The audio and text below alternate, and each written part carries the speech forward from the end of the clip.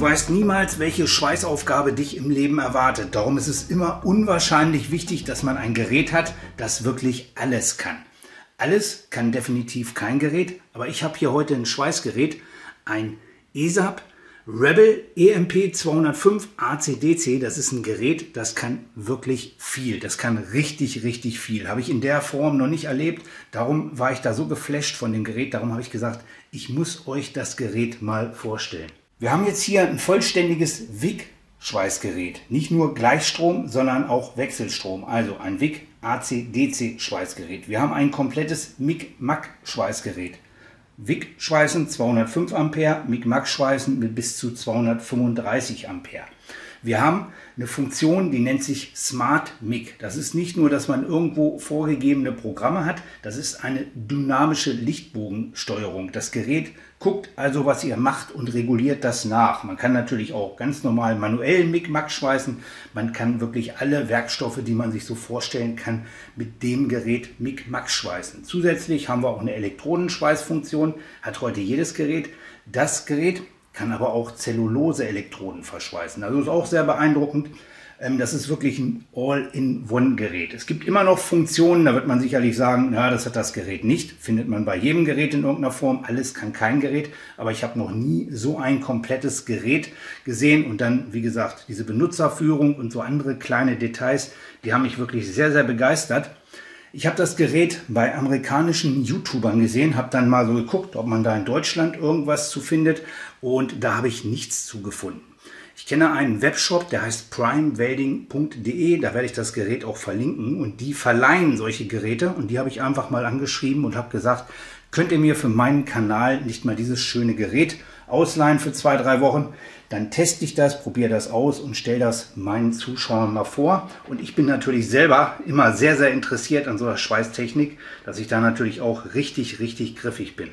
Und das Gerät ist nicht nur sehr interessant von dem, was es kann, also welche Schweißverfahren und welche Features es so bietet. Das Gerät ist auch von der Benutzerführung einzigartig. Das kann wirklich jeder bedienen. Das ist so cool gelöst, also finde ich echt toll. Ich werde euch da gleich ein paar Beispiele zeigen. Alles kann man euch nicht zeigen, weil dafür ist das einfach zu umfangreich. Aber vielleicht können wir noch ein paar mehr Videos über das Gerät machen. Weil man muss ganz klar sagen, das ist natürlich jetzt ein Gerät für den professionellen Bereich. Passt nicht ganz so zu meinem Kanal, aber es ist natürlich so, dass was jetzt hier so eine Firma auf den Markt bringt, das gucken sich die anderen ab. Das sind die Innovationen, die ihr in fünf oder in zehn Jahren in euren Hobbygeräten wiederfindet. Auf der anderen Seite ist das Gerät vom Rahmen her wirklich auch noch bezahlbar. Wenn man sieht, von wegen, bei anderen Firmen kriegt man für den gleichen Preis gerade mal ein WIG AC-DC Schweißgerät. Das hat dann nicht so eine schöne Benutzerführung. Und hier kriegt er da ein WIG, ein ACDC, WIG ACDC Schweißgerät, ein Max Schweißgerät, alles in einem. Also das finde ich schon, ist wirklich noch in einem tollen Level. Ich finde, das sieht auch cool aus mit diesem Schwarz-Gelb. Das ist natürlich immer so eine Geschmackssache. Außerdem ist das natürlich extrem robust gefertigt, so richtig für den ähm, Baustelleneinsatz, wie man so schön sagt. Ist überall hier und hat hier diese Griffe als Abschirmung auch noch, dass da nichts gleich auf dem Display fallen kann. Also schon sehr, sehr interessant. Können hier also WIG und MAC schweißen mit dem Gerät trotzdem und natürlich auch Elektrode schweißen. Trotzdem kommt das Gerät immer noch mit einem 230 Volt Stecker aus. Das Gerät, wenn man hier auf der Rückseite guckt, hat man hier einen Ausschalter und hat hier zwei Anschlüsse. Das heißt, das Gerät hat zwei Magnetventile. Man braucht also nicht umstöpseln, wenn man jetzt einmal Max schweißen will, einmal WIG schweißen will. Das Gerät hat zwei Ventile bzw. zwei Anschlüsse. Dann habe ich hier diese große Klappe. Kann man genial öffnen. Hat richtig viel Platz da unten drin. Und da ist dann Drahtvorschub und die Aufnahme. Man kann hier diese standardmäßigen 5 Kilo Rollen aufnehmen, hat hier die Drahtvorschubeinheit, sieht qualitativ natürlich auch sehr gut aus. Interessant dabei ist es auch nur ein 2-Rollen-Drahtvorschub. Das heißt, so eine Weltfirma wie ESAP sagt auch, genauso wie Manni das sagt, für eine 5 Kilo Rolle reicht ein qualitativ guter 2-Rollen-Drahtvorschub wirklich aus. Und dann guckt man sich dieses kleine Feature an. Das finde ich wirklich sehr, sehr interessant. Sieht man das? Das ist jetzt hier dieser Übergang von der Drahtvorschubrolle in das Schlauchpaket. Und normal ist da so ein kleines Röhrchen. Dieses kleine Röhrchen hat dann immer den, das Problem, dass sich dazwischen so kleiner Luftspalt bildet. Und wenn man einen ganz weichen Zusatz wie Aluminium hat, ja, dann hat man ganz schnell das Problem, dass der Zusatz sich hier dann wirklich aufstauen kann. Das heißt, wenn ich irgendwo im Schlauchpaket ein Problem habe oder vorne am Brenner, dann kann sich hier so ein Knoll bilden. Das ist sehr unschön. Mit diesem schönen kleinen Keil bildet sich hier so ein Knoll sicherlich vielleicht nicht mehr oder viel, viel schwerer. Also ist schon mal eine sehr interessante Sache. Das sind so kleine Features, die fallen mir gleich auf, finde ich sehr, sehr interessant. Wenn man das Gerät gleich anhat, dann ist das hier drin sogar beleuchtet, dass man da auch arbeiten kann, wenn man in irgendeinem Raum ist, von wegen, wo es nicht so gute Lichtverhältnisse sind. Ist auch sehr interessant. So wie man die Klappe hier aufmacht, ist das Ganze beleuchtet.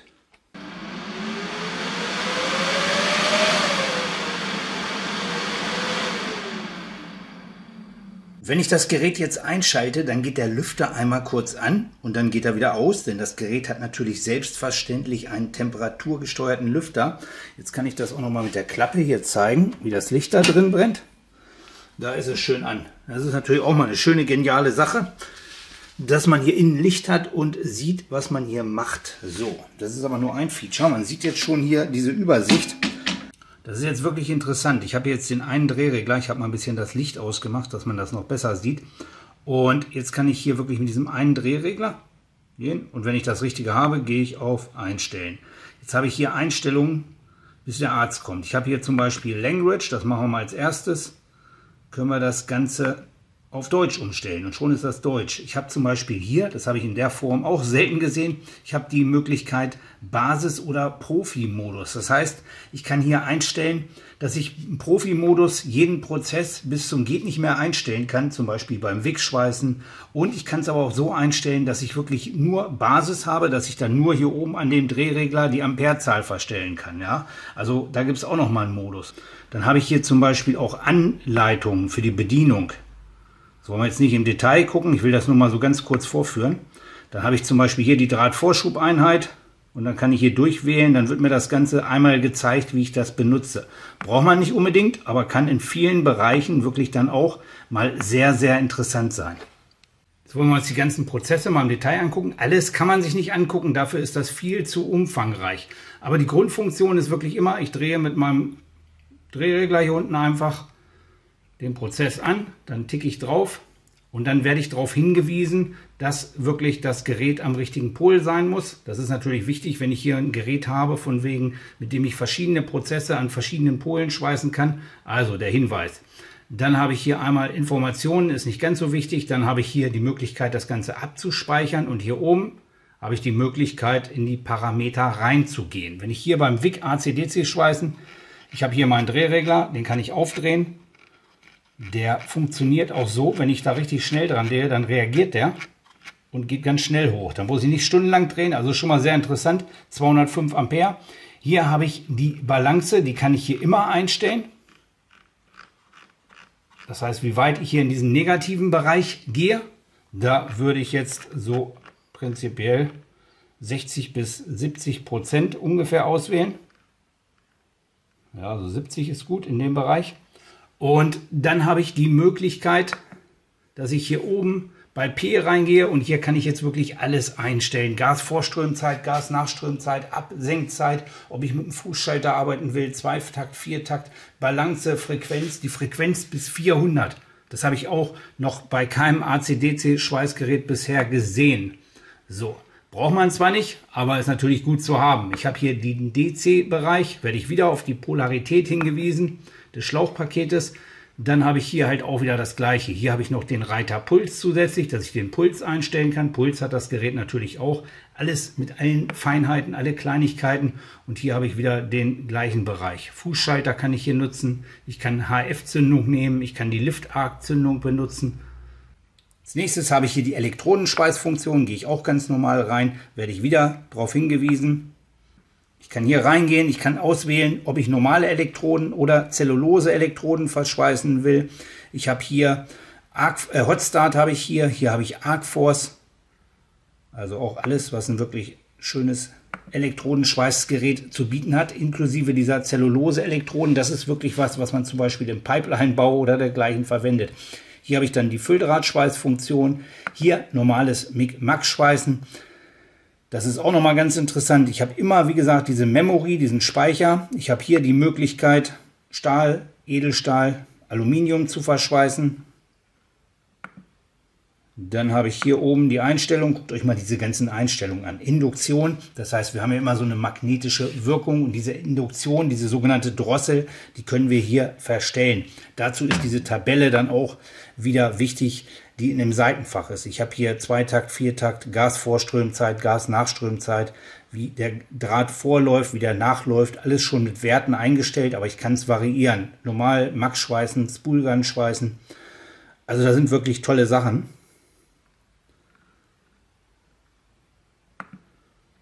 So, und jetzt gehen wir nochmal in das wirklich nochmal richtig gute, neben dem AC-Schweißen, das das Gerät hat, diesen S-MIG Punkt. Das heißt, das ist hier alles mit vorgegebenem Programm. Werde ich gleich, wenn ich reingehe, gefragt von wegen, welchen Drahtdurchmesser. Ich nehme hier den 08er. Dann habe ich hier oben praktisch nur noch den Drehregler. Verstelle das Ganze hier und das Gerät gibt mir dann die ungefähre Materialstärke vor. Das heißt, beim Schweißen brauche ich nur ein bisschen mehr hier, ein bisschen mehr da und dann kann ich schweißen. Das Ganze ist jetzt nicht nur, dass es vorgegebene Programme sind. Nein, das Gerät reguliert den Lichtbogen. Ich kann das Ganze hier verstellen, die Geometrie der Naht. Das heißt, wenn die Naht stärker aufbauen soll, gehe ich in die Richtung. Wenn sie weniger aufbauen soll, gehe ich in die Richtung.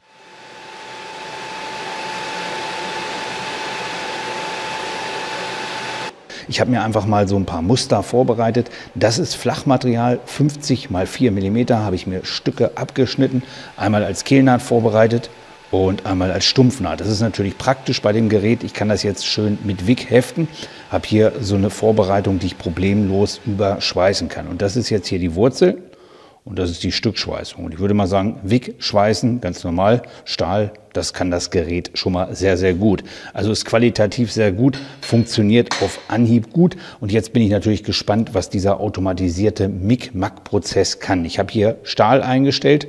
Ich hab, bin auf 8,5 Millimeter, äh, 8,5 Meter Drahtvorschub die Minute gegangen, 3 Millimeter.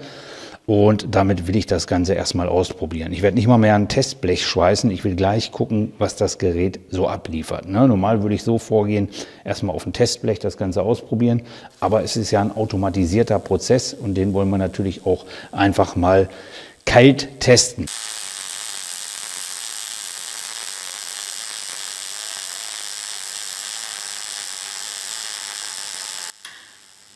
Das ist jetzt, wie gesagt, die allererste Naht, ohne irgendeine Probenaht oder dergleichen. Es schweißt gleich perfekt. Also das ist wirklich Wahnsinn. Wahnsinn.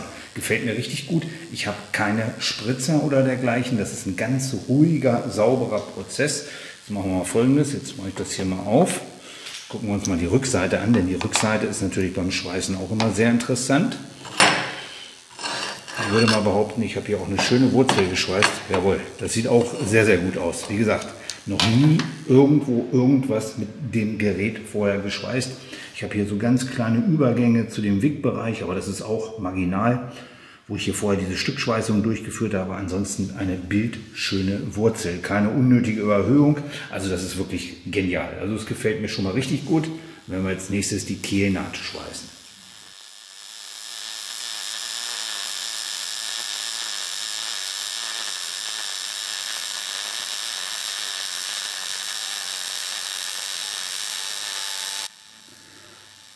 Zweiter Versuch ist jetzt die Kehlnaht. Die erste Naht war so ein bisschen buckelig. Ja, das war mir nicht ganz so gut gelungen. Und dann habe ich bei der zweiten Naht einfach die Einstellung ganz minimal verändert. Da habe ich so ein paar ganz kleine Spritzer hier oben, aber gehe ich einmal mit der Drahtbürste rüber, ist das weg. Und die ist dann auch richtig gut geworden. Das heißt, ich habe einfach hier diese Spannung, die Nahtgeometrie zwei nach hier verstellt und dadurch habe ich eine bisschen flachere Naht gekriegt, die dann nicht mittig so buckelig aufbaut und damit konnte man dann richtig schön das Ganze schweißen. Also hat auch gut funktioniert. Jetzt können wir zum Aluminium weitergehen. Jetzt rüste ich das Ganze mal zum Aluminiumschweißen um. Das heißt, ich nehme den hier raus, stecke die Masse um und stecke das Schlauchpaket in den Minuspol und dann kann ich schon Aluminium schweißen. Hier brauche ich ja nur auswählen, dieses Grundmenü zurück. Dann gehe ich hier in AC, drücke drauf, werde nochmal darauf hingewiesen, mit der Polung habe ich gemacht. Die Einstellung hatte ich ja vorhin schon vorgenommen. Jetzt hat das Gerät sich natürlich gemerkt. Jetzt bin ich hier bei 120 Ampere. Ich habe ähm, Aluminiumbleche in 2 und 3 Millimeter. Das kann ich damit problemlos schweißen.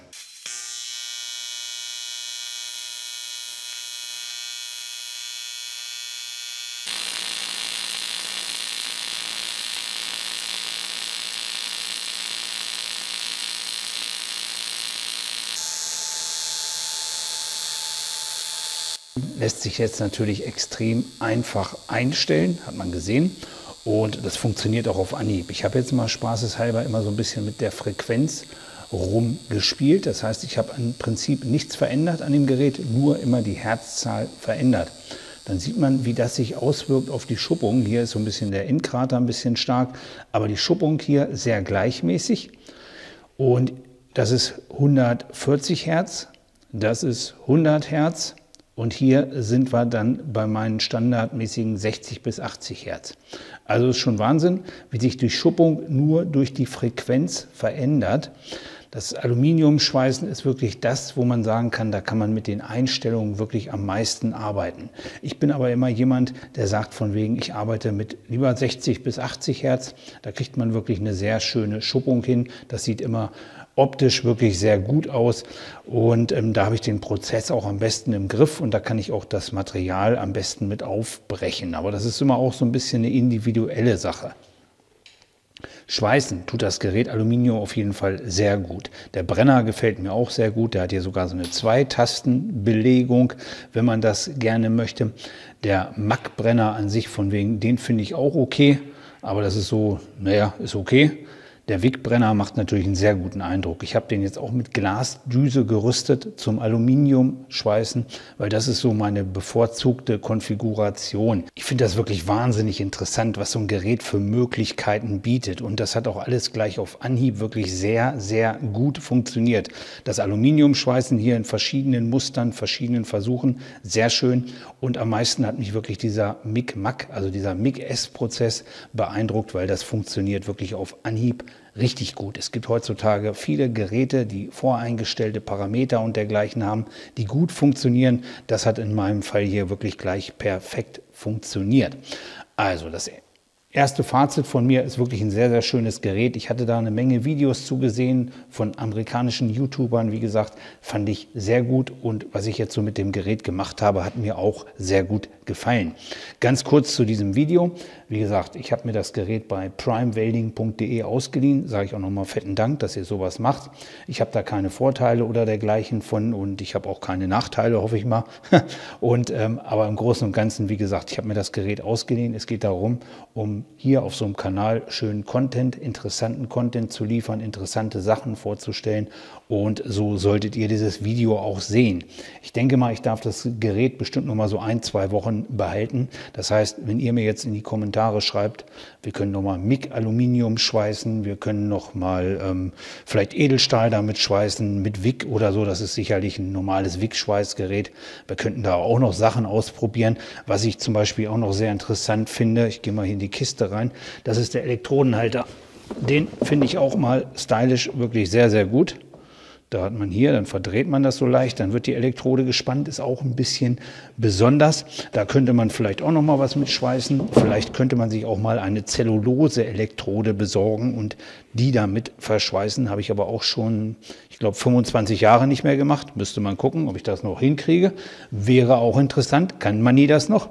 Ansonsten, wie gesagt, mir das Video und das Schweißen mit diesem Gerät tierisch Spaß gemacht. Ich hoffe, euch hat es auch ein bisschen gefallen. Wenn es euch gefallen hat, freue ich mich immer tierisch über einen Daumen hoch. Ansonsten wünsche ich euch viel Spaß zum Schweißen und ansonsten gute und bezahlbare Geräte verlinke ich auch immer unter dem Video und zusätzlich auch immer viel interessantes Material zum Schweißen.